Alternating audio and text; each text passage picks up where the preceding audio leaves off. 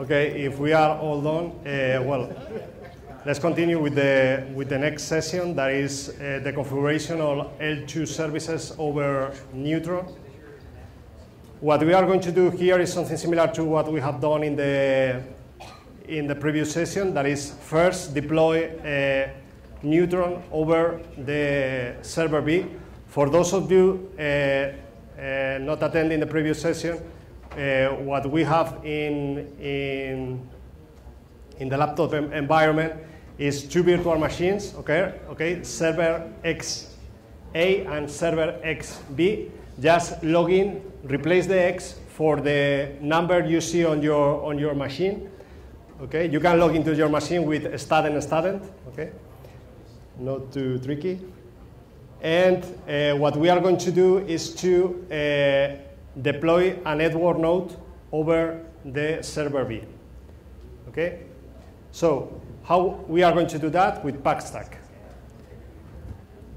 For those of you in the previous session, it's the same, the same first step we were doing before. Just go to server A, okay? In the, the root, you will see that there is a answer.txt. So just edit that with whatever your preferred text editor. okay, and we, we have just to change the, as, uh, the host, the IPs we are going to use for deploying uh, Neutron. That are going to be the, the IPs of the server B on the management network. That for us, if you see that we have uh, X plus 100, just add to your host number 100. So if you have host one, is 101, okay? So, so let's, let's look for config neutron server host, okay? And just replace it for the one of uh, server B. And the same for metadata host. So just replace that. For those of you not, not familiar with, uh, with Packstack, what we are doing is just uh, to play with, with an answer file. You can generate it, surely you know, but with this, with Packstack gen and the path. And what we are going, since uh, this is located here, or should be, yeah, well, what we are going to do is to launch Packstack, okay, like this.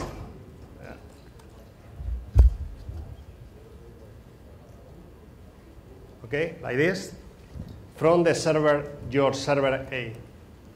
Okay, so just launch this. This is going to take uh, just some minutes.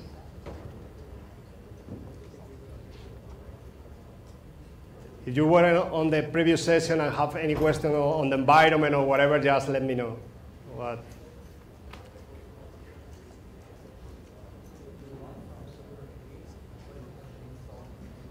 Yeah, yeah, you can you can use uh, Packstack as a deployer. So you you have the uh, the deployer node on server A, and you can execute it. Uh, you can define the environment on the answer file, so you can have as many as many nodes as you want defined there. So, so you can deploy network node in, in one machine, the controller node in another, one service in another machine, because you, you can do whatever you want. It's quite and you can launch it from your, from your workstation. You don't need to launch it from the server that is going to be the controller. So we're doing everything on server A? Yeah. Yeah.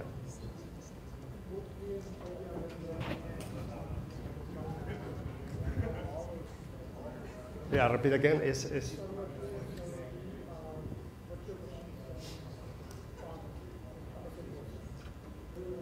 yeah. This is this is the is is. Uh,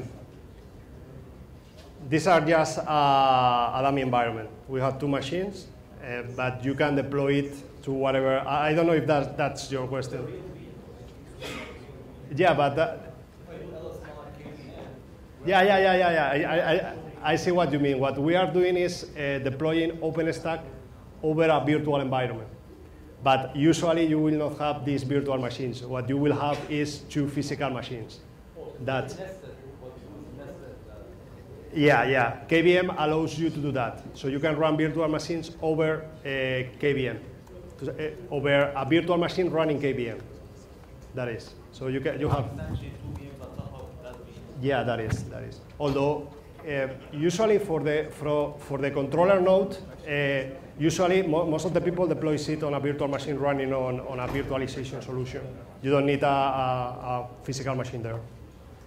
Yeah, because it's it's, it's like two gigs or yeah yeah usually usually what people is doing is if you have a, a database environment that is the, the one you, you, you have in your infrastructure just create the, the DBs there the one for every OpenStack service and just keep uh, Keystone, Horizon, dummy stuff on the well, no dummy stuff, the services, the core services on the on the on the controller, but with two gigs or four gigs. So. Yeah, the, the other. All, all except neutron, indeed. Yeah. Yeah, yeah, yeah. Neutron, neutron always should, should run on, on a physical machine. Yeah, always. Yeah. And it, it's recommendable to have 8 to, to 16 gigs and a good an SSD disk, local disk. Yeah, on compute nodes, you, you, you have to put there as much resources and as good as you can. Yeah. Yeah. Usually, usually, usually when you when you talk about compute nodes, you have different uh, generation of compute nodes. So right now in, in, in I don't know if in Havana or Grizzly you can uh, set up like host groups, so you can provide to your user different qualities depending on the on the group of compute nodes that they are using. So you can have, for example, all ones with 8 gigs and SATA disk, 10, 10K, and then have new ones with uh, eight, 48 cores and, and SSD. So it's like, like, that, like that.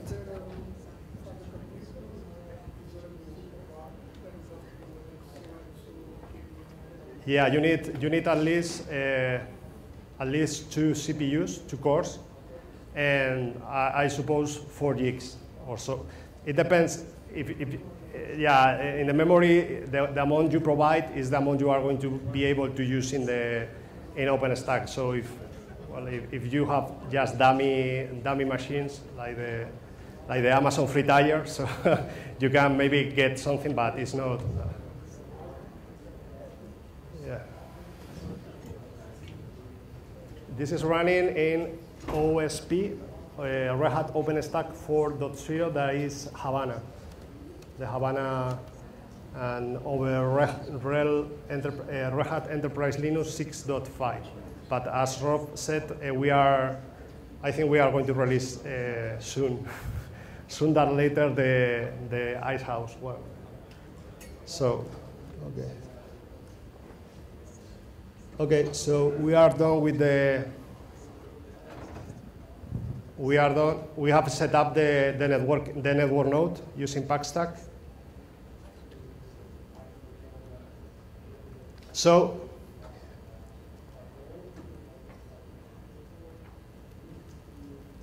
well, it is it's quite similar to the previous. So we, if we go here, here you can see all the all the services that ha, have been set up on the uh,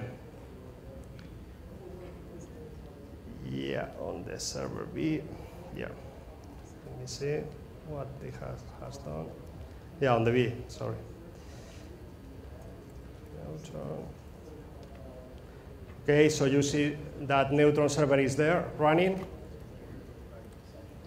Later we will enable both the DHCP agent and the L3 agent. Okay. Where are we supposed to be on Neutron server?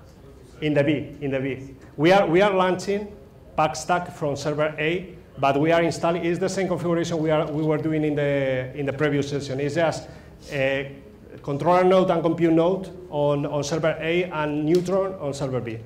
That, that's it. Yeah, it's that, it's that, it's that way. Yeah.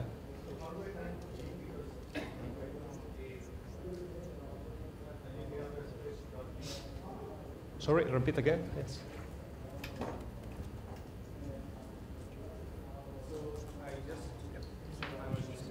Where I, s- I did I did install the Packstack Yeah. on, on server two hyphen A, right? Yeah. And uh, it says um, on the Nova compute node, how do I get to B? Just SSH to Uh. Yeah, I will, I will check with you later, okay? So I, I will run and I will check. uh, Okay. Okay, so what we see here, one, one of the, one of the agents we are going to have in the, um in the network node is the OpenVSwitch agent. What we are, uh, we are working here with is with the Open vSwitch uh, SDN. Uh, that is the, is the SDN that we are going to use uh, below Neutron. Okay, so yeah, it's a SDN.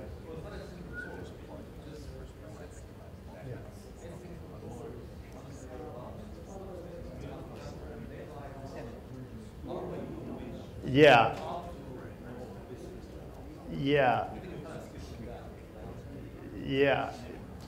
They, they call it SDN for because they, they separate be, be, uh, between SDN solution and hardware, uh, direct hardware solution, the one provided by Cisco or by Arista Networks. And so, yeah, it's not real, real SDN there. Okay. So if you see, this is uh, this is the you see that the service, the agent for Open vSwitch is running, the one for Neutron. Okay. We see here also that uh, this, uh, this agent is using, the Neutron server is using uh, Qpid. You can see the configuration of the, okay, as, as you see in the, If you are not familiar with, with OpenStack, you will see that this is uh, OpenStack is all the OpenStack services are quite clean in configuration and in logging. You will have everything for a service under slash etc slash the name of the service, and everything for the logging of the service under slash var slash log slash the, the name of the service. So it's, it's similar to Neutron. Okay, if you go to Neutron etc Neutron, you will see that we have everything here. What we are doing here is the, is the usual uh, deployment you can find out there in the manuals, how-tos, and, and in- the OpenStack docs also. Okay, so it's neutral with uh.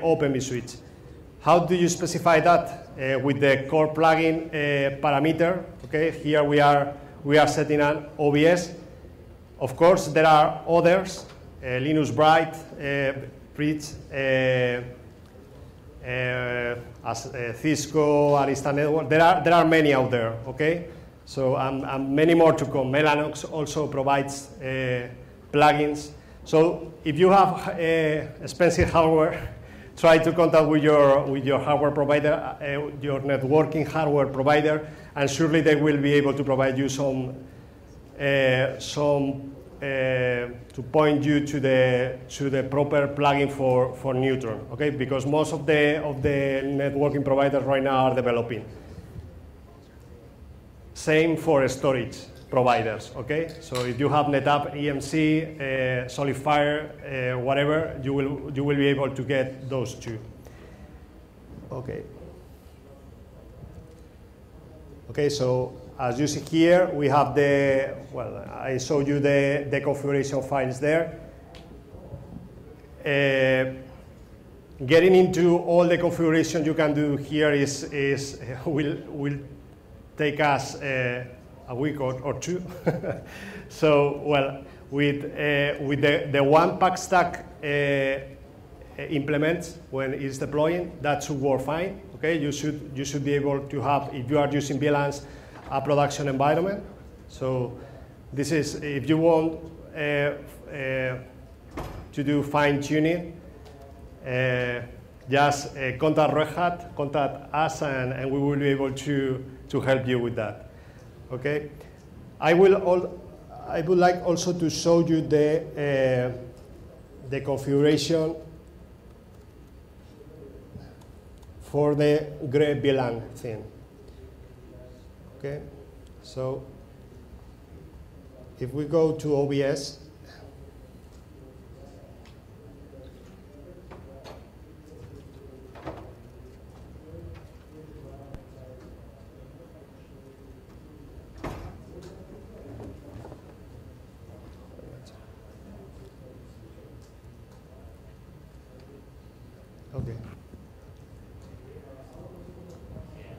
Okay. Here, what we have in the, in the slides, we have the configuration that you should have in plugin.ini for a, a VLAN backend. Okay, if you are using VLAN in, in Neutron, you should have something like this. What, what do you see here is uh, the network type you are specifying VLAN in GRE would be GRE. I will show you later the, the GRE version of this, but you will see that it's quite similar. Also, we specify here the range of VLANs that we are going to use. Okay, so we are specifying from 1,000 to 2,000. So if you have uh, uh, on the service network, the NIC plug in your network node and your compute node to the service network will be plugged to a switch, and in this switch, we will use this range of VLANs in order to create the virtual networks in Neutron. Okay? This is where the virtual becomes the, the physical. okay? So, as I said before in the previous session, if you are able to get a, a dedicated switch for deploying this, don't try to do this uh, on, on shared environment, on shared switches. And uh, that's, that's mainly. In the, if you go to the server zero, uh, to the server B, your server B, you will see the, the configuration for GRE. The important thing here, apart from the, from the internal bridges that uh, are, are being used uh, for GRE, is you see that the network time here is GRE, and what we define here, instead of uh, defining the VLAN range, we define the, the range of the, of the GRE tunnels. So you see 1 to 1000. And uh, the IP we are using for creating the GRE. So when, when we create the GRE, what we do is to, usually, is to have a dedicated network on both the compute nodes, okay, a, a dedicated NIC on both the compute nodes and the network node, and we create a network there that is called the service network, similar to the VLAN. And what we do here, instead of uh, we, we associate IP to that NIC. So you just get all the GRE tunnels over that IP, and those will be uh, all the, I mean, uh, get all the networks in the in, in GRE over the NIC, the physical NIC, and those will, will be tunneled to the uh, network node. Okay. Well, the important thing you, got, you have to get out of uh, from here is that it's quite similar to set up a GRE tunnel or set up a, a VLAN-based uh, neutron. It's just changing some parameters. The only, the only thing you have to care about is just use a dedicated switch. The first time you, you deploy this uh, on, uh, on a real environment. And if possible, for as I said, we have the management network, the service network, uh, and we have the public network. In the ser service network, if you are going to have a, a quite a lot of traffic between the VMs or with your storage, it's important that you get a, a 10G there, okay? Because if you start to, if you start to get more and more VMs on your environment, for example, 100 or so, you will see decrease on, on performance. So that's our, those are the main idea, the main ideas there. Okay. And and this is the second practice we are going to do. Uh, this is about to show you that uh, it is quite flexible in Neutron to play with agents. So as we saw before, we, we have a, uh, Open vSwitch agent. Okay, so what, what we are going to show you here is that uh, you are able to stop, start, play, play with them, and move to other to other nodes. So uh, first, uh, in order to play with uh, whatever whatever Neutron service, uh, you need uh, credentials. What we are going to get here are the credentials from the for admin on Keystone. Okay, these are generated with Packstack. When you run Packstack, you will see that in slash root slash keystone rc uh, underscore admin, you will have the, the credential for admin for that keystone instance. Okay, so if you don't believe me, you can just go in yourself. Okay, if we go here in root, uh, okay, you see here, and if we cut this one, this, uh, this is, uh, uh, you see here that this is just a way to log yourself into, into Keystone. You log as the admin uh, on the admin tenant uh, with the Red Hat, that, that is the password we have set up in Packstack, and against the Keystone service, okay? That is, is been running, is being run on, this is the server A, okay? Our controller node. So if we source it, we have superpowers, okay? So we can do whatever, whatever we want. Uh, we are the root of OpenStack. So what we are going to do here is to play with uh, Neutron, okay? So if we run a Neutron agent list, oh,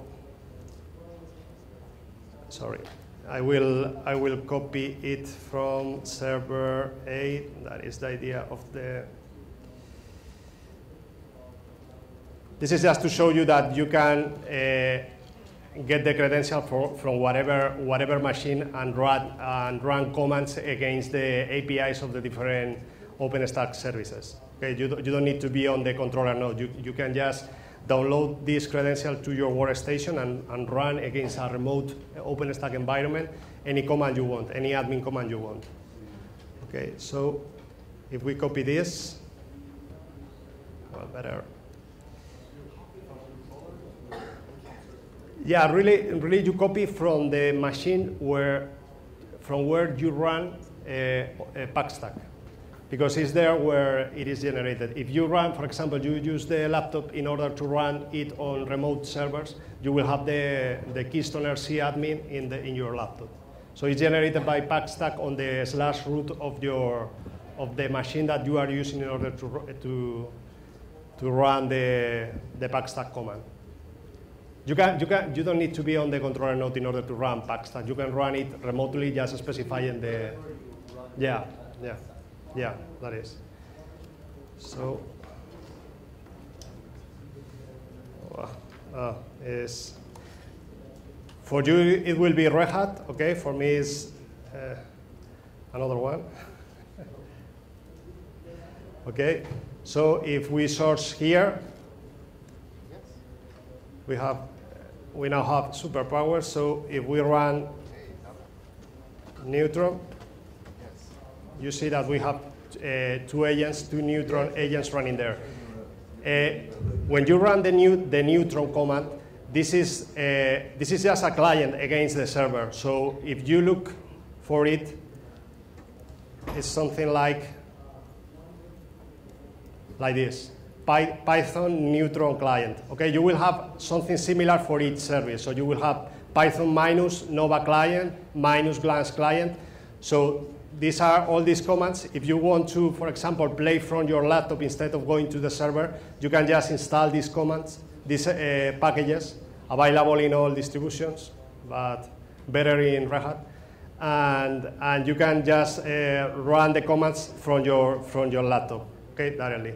So as you see, we have two uh, agents there, two Open vSwitch agents, one on, on server B and one on server A. The idea there is that uh, in the, in the network node, our server B, we are going to have uh, Open vSwitch agent running and another one on server A because we have there the compute node, okay? What we are going to do right now, just to show you how flexible this is, we are going to disable and remove the, the agent from the compute node that we are able, we should be able to, okay? And later we will recreate that. This is good, for example, if you want to, if you want to move the networks, you have several compute nodes and, and you want to uh, isolate one compute node, you can just stop the agent there and the networks will be uh, managed by the rest of the Open vSwitch agents running on the, on the compute nodes, on the other compute nodes, okay? So, first, as you see, uh, we have a, a ID for each agent. So the one we are going to uh, we are going to work with is the one belonging to the server A, the one associated to the compute node. Okay, so we are going to use this ID. You will see that everything on OpenStack has an ID. Uh, virtual machines, ports, networks, subnets.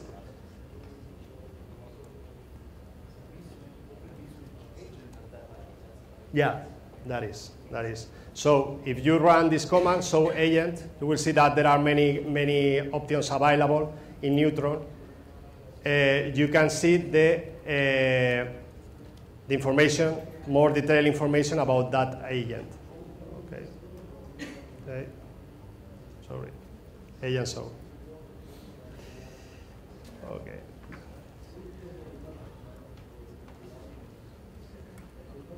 Okay, so you can see here uh, whatever information where the where the agent is, uh, what is the host ID, and other other additional information there.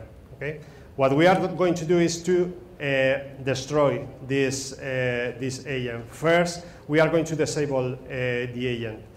In order to do this, we we run this Neutron uh, agent update and set up the state to false to the ID of that, uh, of that Open vSwitch agent that is running on the compute node. Okay. So,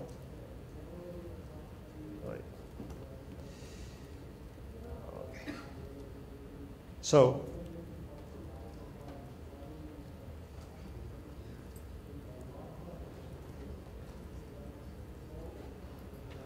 So we, we run the command with false to the to the ID we were using before.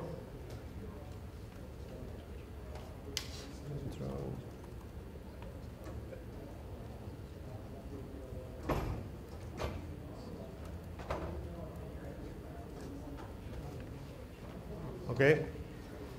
And if you, yeah.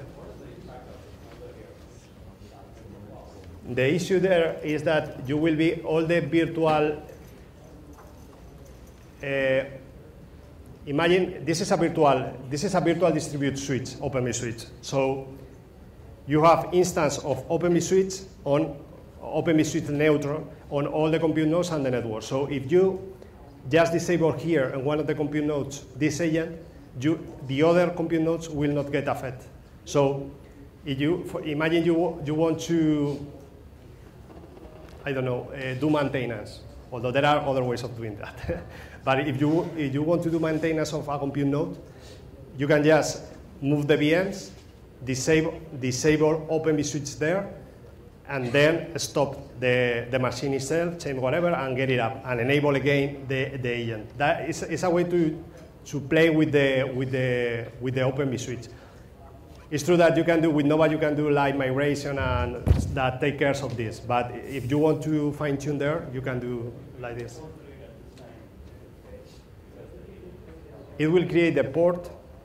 It will create the port on a compute node. Uh, it will create the port on, uh, yeah, on the, yeah, all the compute nodes, all the agents, all the Open vSwitch agents on the compute nodes will be aware of that port.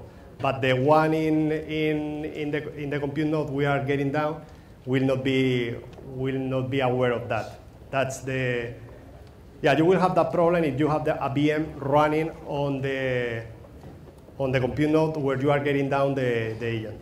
That's the that's the issue.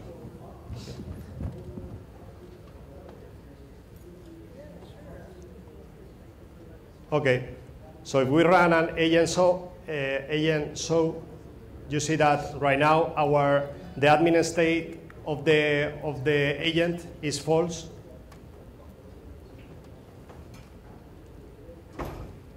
Okay, and we can go farther there and uh, go to server A, that is the one we have disabled. If we run, for example, agent list, uh, yeah.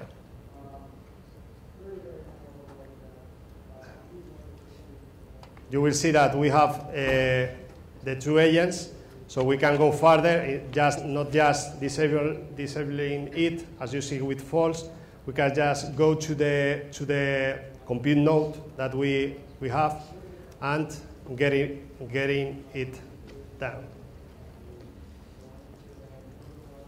Okay, so what we do is service neutron openvswitch agent stop.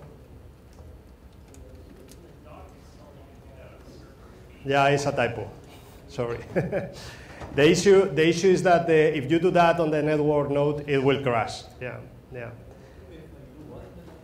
Yeah, if what we are doing, uh, what we are doing is to disabling uh, one of the open open vSwitch agents. So if we disable uh, we disable the, the one in the network node, everything will. The network node has uh, OVS uh, running. Yeah, OVS yeah, yeah. Okay. I thought you only said uh, two nodes have OVS. All all of them. The, the issue is that the, the ones you have in uh, the agents you have in it's like a client server. You have it- it's distributed, but it's a client server. You have the, the core the the server to say to say so in the network node, okay, and you, then you have clients on all the compute nodes. So they are querying all the time to the network to the OVS instance running on the network node in order to know what the configuration is. The node on which the Neutron server is running, we still need that agent running. Yeah, yeah, yeah. You need the, it's, it's like having the Open vSwitch software, software running there. So you need, you need that. The issue is at the end you have the, the, the configuration of, of the whole environment is on the network node. So uh, there, there is a database there. So you, you need to, and it, this is very important, you, you need to care quite a lot about that database because this is, this is your life in, in, in, a, in a production environment. Okay, so we have stopped here the Open vSwitch in our compute node. So if, if we go and list, that, that's not good. okay, it's, it, it appears, if you see here, as a not happy. Okay, this is uh, because it's on a non, non-healthy status. So next thing we can do is to delete that uh, agent from neutron. So in order to do that, we delete it with uh, neutron agent delete, okay, with the ID of the of the open open switch agent. So it's just agent delete this one. Okay. So if we run uh, agent list now, you will see that the only one we have is the one for our network node. Okay. But this is not permanent change. So if you want to just get back that uh, that uh, that agent, you can just restart, start again the, the Open vSwitch agent on your compute, okay, and it will be shown there, okay. This is a way to although you will see if you if you start uh, deploying OpenStack environments that you can play with live migration in order to do uh, to run downtimes on compute nodes when you have a hardware fa- failure. This is a way to instead of going just with the Nova live migration to be able to play with the networking if you need at any time to disable networking on a given compute host. Compute host.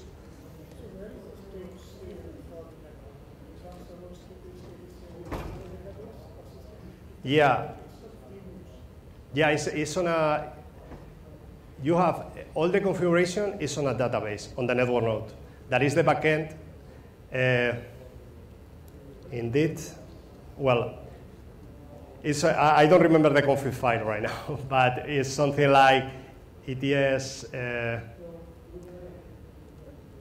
uh, plugins. Uh, yeah, I think this one is. So here, somewhere, you have a. Yeah, you, you see the OBD, OVSDB. That, that is the, the database where all the information about Open vSwitch, all the networking uh, you have configured on your environment is, is located. So if you restart uh, uh, on the network node, it will, then the setup you have, it will be recreated, although it's not recommendable to do that.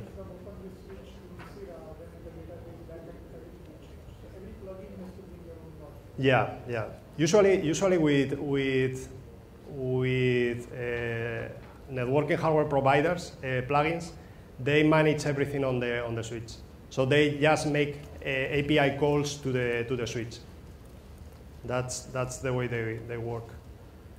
Okay, so I think that's that's all for me. So if you have any questions running the the the workshops, the labs, or any other general question, just let me or any of my colleagues uh, know, and we will provide. commands that we run, like all the Neutron, Yeah. these uh, agent, those things. Mhm. Is it specific to iStack or these are regardless of No, no, these, these are? Yeah, this is OpenStack. Yeah, yeah, yeah.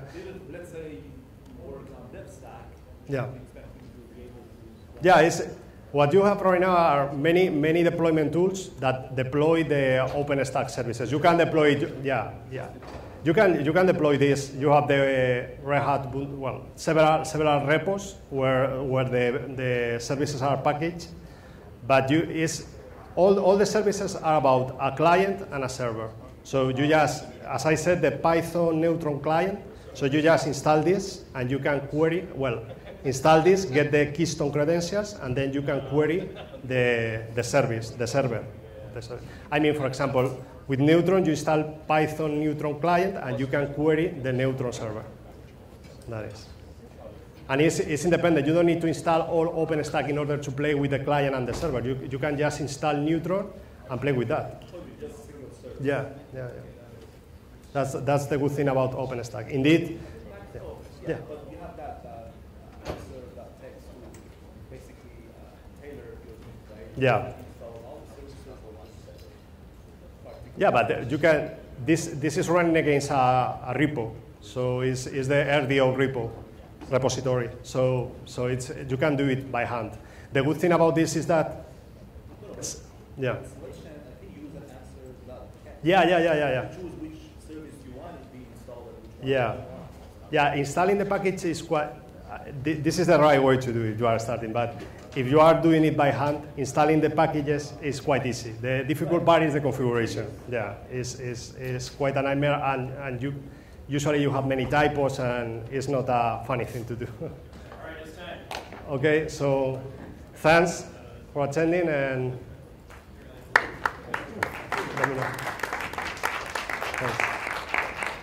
Okay.